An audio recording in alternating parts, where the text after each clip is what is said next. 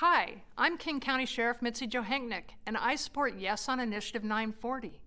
I've been in law enforcement for over 34 years, and I have led SWAT teams, run complex investigations, commanded a precinct, and worked in community policing. I know and love the law enforcement profession. I also know how important trust is for building safe communities, and I believe Yes on 940 will increase trust and be a win win for communities and police.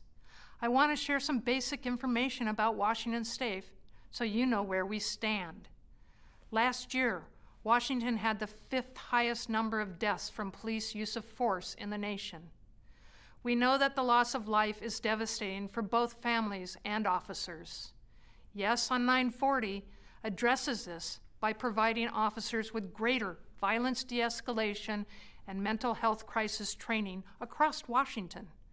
It also provides first aid training for officers and requires first aid at the scene.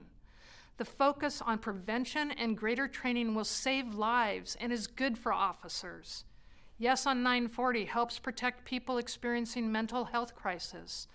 Up to a third of those killed by police in Washington state have signs of mental illness. Yes on 940 improves mental health training so officers know how to handle difficult situations and keep people with mental illness safe. Yes on 940 also addresses a big gap in our state law by creating an independent investigation process for these tragic instances. I support a fair process to determine if an officer acted reasonably. Yes on 940 acknowledges the complex situations that law enforcement officers might find themselves in and proposes training to address the impacts of bias, stereotypes, and stigmas. People with disabilities, people of color, youth, Native Americans, LGBTQ people, and people in poverty are sometimes misunderstood in a crisis.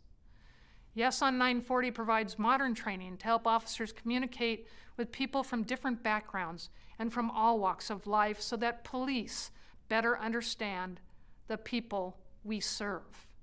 I will be voting yes on 940 because it will make our families, communities, and officers safer. It is a well written and thoughtful proposal. Please join me in supporting yes on Initiative 940.